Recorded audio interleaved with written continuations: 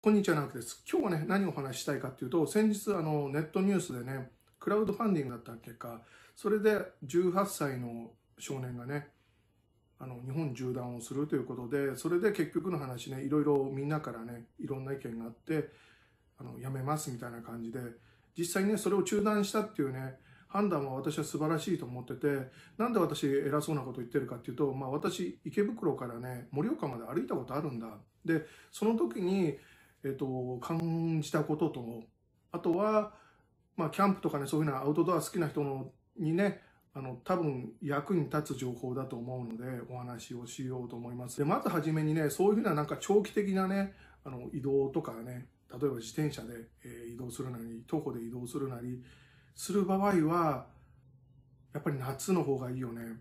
うん、でただ夏って言ってもねあの例えば北の方とか東北とかもあの涼しいだろうと思ってるとむっちゃくちゃ暑いからね。状況によっては今年の夏じゃないけれども私あの何あの日本の天気図見たけども盛岡の方がむっちゃくちゃ暑いっていう状態にもなりかねないので、まあ、私はあの岩手の人間なんで盛岡基準でお話しさせてもらうけれども盛岡涼しいだろうなと思ったら夏暑いからね。冬むっちゃくちゃ寒いからね池袋から盛岡まで歩いた上で何が必要かっていうのをちょっと今からお話ししようと思います。で、かかった日数は14日間。で、そのうち2日間あの歩けませんでしたっていうか、友達と2人で行ったんだけどもね。で、えー、1, 1回目が友達のあの足の関節が痛いっていうことで、それで1日動けなくて、ほとんどね。で、あとはもう1日は、もう1日は私があの熱中症にかかってしまってね。で、歩けなかったっていうお話だよね。そうすると、実質ね、あの、大体、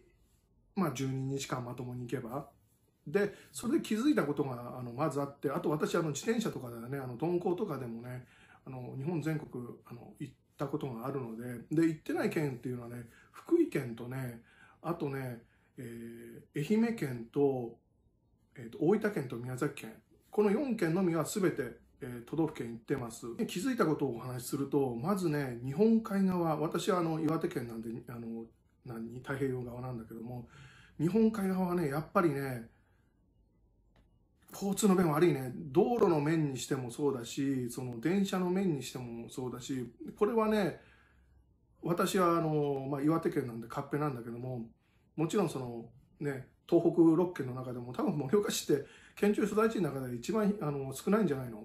それでも交通の便はあの他県っていうかね日本海側よりはやっぱりまだまだ交通の便いい方なのかなと思うんだよね。これはもう日本全国ほぼ回った時の感想ね。気づいたことはねその市町村とかいろいろ町とか市とかあるでしょ。それって大体ね40キロとか50キロ間隔であるのよ。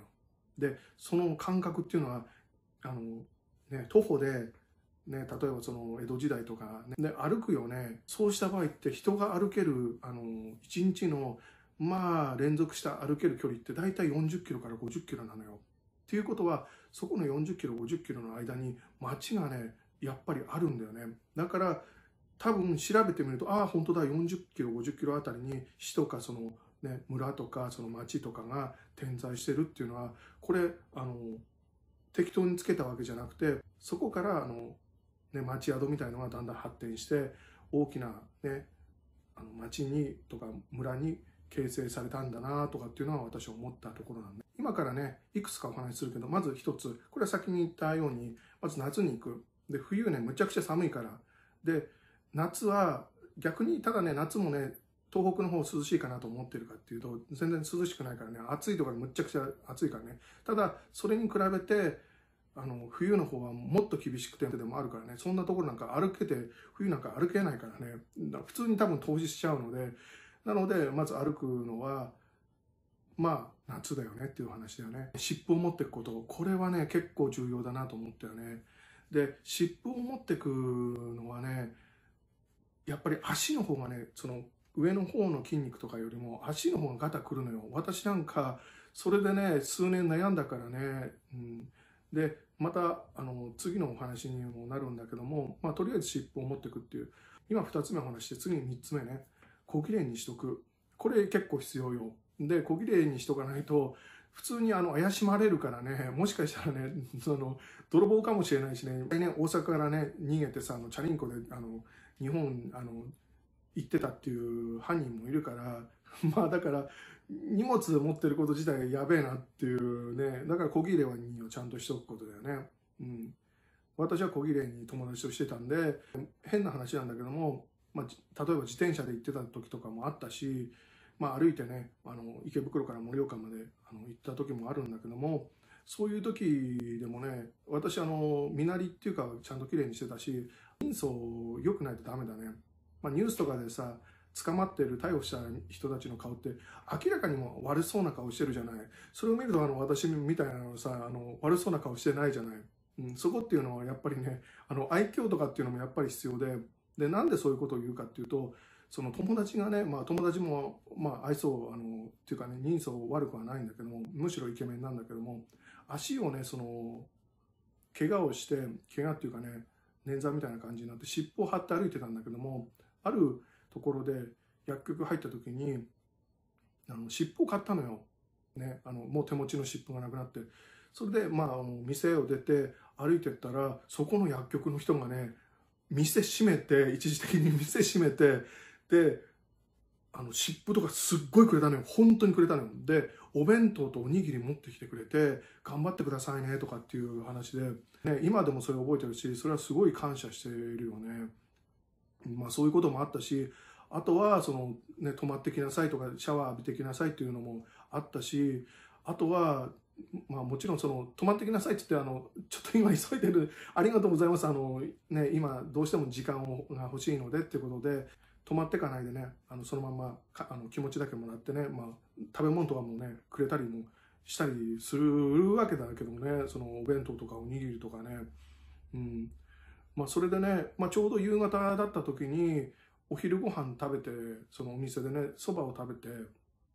でその時にあの店出ようとしたらお店の人が、まあ、結構その物騒なアイテムを持ってるわけですよリュックっていうかね。で何をしてるの？って言われたから、まあ、盛岡までね今ね歩いて行ってるんですってお話をしたら、まあ、泊まってきなよって話になってちょうど夕方だったからあの泊まらせてもらったんだよね。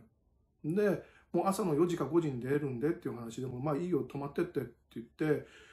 もう信じられないでしょ。だって人相悪かったらさあの止めてもらえないからね。だって今さ鍵かけててもさ嫌な事件ってさすごい多いじゃない。その中でねすげえなと思ったもんね。だってもう朝4時とか5時とかに出てくっていうお話でしょ。でそういう中で下手したらねもしかしたらあの我々殺人犯で逃げてるかもしれないしただの強盗かもしれない。そうじゃなかったとしても朝の4時とか5時ってみんな寝てるから家のねなんか金品とかねパクってねで逃げることも可能だったわけでしょ。う、ん、だからねそこまでね信じてくれたのっていうのはすごいありがたくてでアメリカにね私があの来る前にもうちょっとそれまでね交流とかあってねでまたあの友達2人と遊びに行ったりもねでももちろん感謝してるしね、うん、そういうことがありましたということでまず身なりをきれいにしておきましょうとまあ身なりはねやっぱり大事だしニュースとかで捕まってるような人相だとね やっぱりね誰しもが敬遠するんでねまあ愛嬌よくね、あとちゃんとあの、身なりも良くしておくことっていうのが大事だよね。4つ目はね、私が熱中症になった時のね、体験をもとにお話しさせてもらうんだけども、あの、メッシュの帽子ってあるじゃない。ね。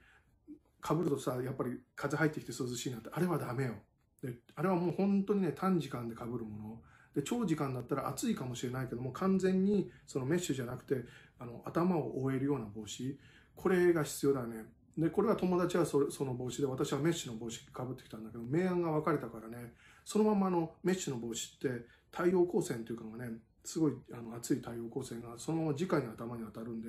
東北といえどもね、むっちゃくちゃあの、ね、さっき見ていただいた通り、すごいあの色も黒くなるんでね、日焼けもするんでね、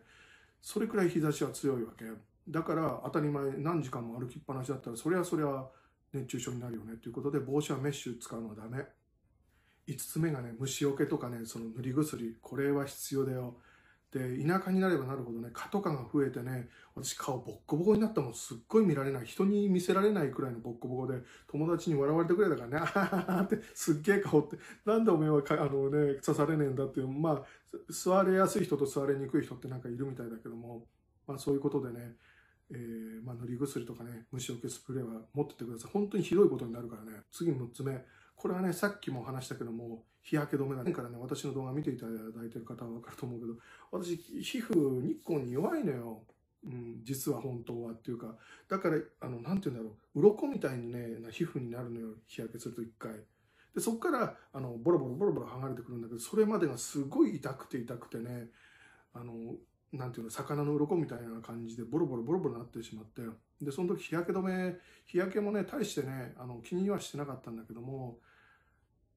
うん、さすがにね、東北といえどもね、日差しは強いなっていう、あの、なんていうの、長袖着てても入ってくるからね、あの、紫外線が。だから、日焼けするのよ。言っていいのよ、本当に。なので、少なくとも日焼け止めはね、持ってった方がいいと。7つ目。これはね、私の動画を、またこれもね、昔から見ていただいている方にはもうすでにお分かりだと思うけども、どこかまた、そのヨーロッパとかね、私結構行くでしょ。その時に下に捨ててくのよ。だから、その、捨てられる下着で、今だったらなおさらね、あの、どこでも下着ね、買えるから、で日本を歩く上ではね。だから、その、下着はね、常に新しいものを買える。だから一日、ね、あの、履いたパンツを2日も3日もそういうのを履いて、で、さらに自分で洗うっていうよりは、もう捨ててった方がいい。で、今からでもいいから、もういらなくなったパンツは取っとくのよ。あの、あとは、その靴下とかのこれはあの、ね、旅行に行ってる時もお話ししたけども、基本捨てるものを持ってって、地形化したらもう全部捨ててくる。靴下とか T シャツ。まあ T シャツは洗ってもいいかなとは思うんだけども、うん。まあパンツとか靴下はもう1日履いたらどんどん捨ててく古いやつ。まあさっきの話に戻ってしまうんだけど、まあ小綺麗にもしとく。うん。これは衛生の面でもやっぱりちゃんとあの1日1回は下着は交換すると。で、いらないものは捨ててく。ね、靴下とかもムチムチになったらシャレにならないからね。だから、ちゃんと1日でね、あの、履いたものとかも捨ててくっていう感じだよね。次8つ目なんだけども、まあ、俺ならいけるとか、そういうのはわけのわかんない自信は持たないことだよね。私はいつもお話してるように、ネガティブにも考えるので、やたらとね、その、何か YouTuber の人とか、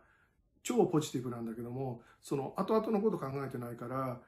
厄介なことになるね。まあ、これはもう気持ちの問題なんだけども、変にね、ポジティブにならないことだよね。私だったらいけるとか、俺はできる。みんなとは違う。まあ、これはいつでもね、動画でお話してるんだけども、これはやめた方がいい。何の根拠もなくね、俺はいけるとか、俺は人とは違うとか、私はいろいろなね、挫折をあの、あの乗り越えてきたって。それみんなやってることだから、あの自分が特別だとは思わないことだよね。だから今回のその中断っていうのも、まあ、あの、賢明な判断なんじゃないのかなって。だから私、用意してた私ですら、ね、例えば帽子の件も、帽子もね、ちゃんと日焼け止めとしてあの考えてたし、ね、熱中熱中症にならないって考えてたんだけども、メッシュがそこまでね、あの、ある、あの全部き、全生地とね、あとメッシュ系とね、そこまで差が出るともう思ってなかったからね。これはもうちゃんと用意した上でもそういうことがあの起こり得たっていうお話なので、なので過度な自信はあの持たないことだね。変にね、あの、超ポジティブにならないようにね、最後にね、9つ目なんだけども、これはね、最初にお話ししたように、冬はね、よした方がいい、こういうようなアウトドア系なの。本当にあの、なんて言うんだろう、岩手じゃないその西側の方でも、むっちゃくちゃ冬寒いから、そういうような、その、寒くねえよっていう人もいるのかもしれないけども、その、数時間外にいて、で、あの、中に戻るとかとは違うからね、やっぱりほぼアウトドアみたいな感じで、それも何回にもね、何日もね、続けて歩くってなると、どうしてもね、あの体の調子とかもね、あの、あったかいところにいる時とはね、全然別の話になるので、その1日2日っていうわけじゃなくて、連続で歩いて、さらに寒い、ね、夏ではない寒いところ、夏でも風ね、寒いところだと引くから、まあ、普段ね、そういう2時間も3時間も、例えばまあ8時間でもいつも俺は外にいるよっていうのと違うからね、もっと外にいる時間の方が長くなるので、連続でね。だから、冬はやめとくべきだよね。なのでね、今日はね、そういうこともね、合わせて、まあ実際ね、私が池袋からね、盛岡まで歩いたことは実際あるので、